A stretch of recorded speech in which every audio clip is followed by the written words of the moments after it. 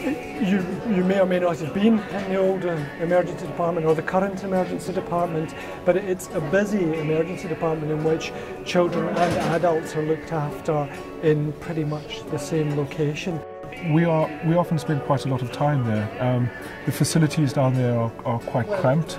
Um, they're very difficult. They're not very children friendly, so they are you know they are still part of within the adult hospital. Having a dedicated facility means that all the services within that facility will be directed to the children for the children's benefit.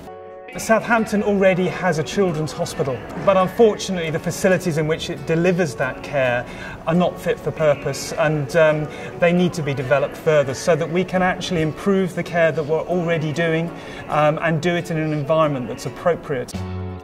The reason we're doing this festival is it's the beginning, basically, isn't it, of the 2 Million Steps campaign. Yes. Uh, which is a huge campaign that we're putting together to build a brand new A&E at Southampton Hospital that will service over 12 counties. Frank and Fast from Fun Loving Criminals DJ set. Ward Thomas! Junko Shakers. One step too late! The Chalk Flowers. Ella Davidson. Josh McCormick. Head North. Ian Easton. Soul and Fire. Grant Sharkey. Dodgy. Deborah Bonham. Solar Wolf. See, See you, you at Rookwood. Rookwood.